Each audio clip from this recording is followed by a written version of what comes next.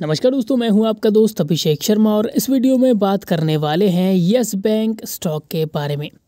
तो शुरू करते हैं आज के 15 मिनट चार्ट की। अगर मैं बात करता हूँ, करीबन दो परसेंट का एक डाउनफॉल स्टॉक ने बनाकर दिखाया। सोलह रुपये पैंसठ पैसे पर क्लोज होता हुआ आज के दिन स्टॉक नज़र आया। वहीं थ्री आवर चार्ट की अगर हम बात करते हैं, देखिए, ऊपर जाने की कोशिश स्टॉक कर रहा था, लेकिन रिसेंटली एक हाई बनाया स्टॉक ने सत्रह रुपये पैंतीस पैसे का और वापस धीरे धीरे गिरावट का सिलसिला स्टॉक में जारी है।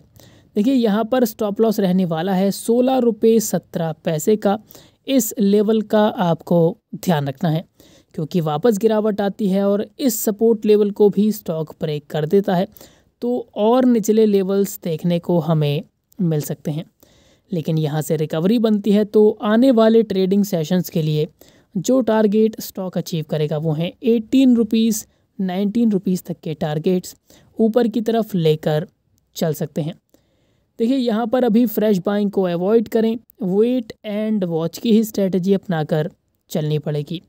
जैसे ही बाइंग का मौका बनता है या फिर एक स्विंग ट्रेड का शानदार मौका बनता है, हम एक वीडियो ज़रूर बनाएँगे। तो यही स्ट्रेटजी आपको अपनानी है यस बैंक में। आप चाहें तो अपने खुद की एनालिसिस खुद की रिसर्च ज़रूर करके चल सकते हैं। तो वीडियो देखने के लिए आपका बहुत बहुत धन्यवाद।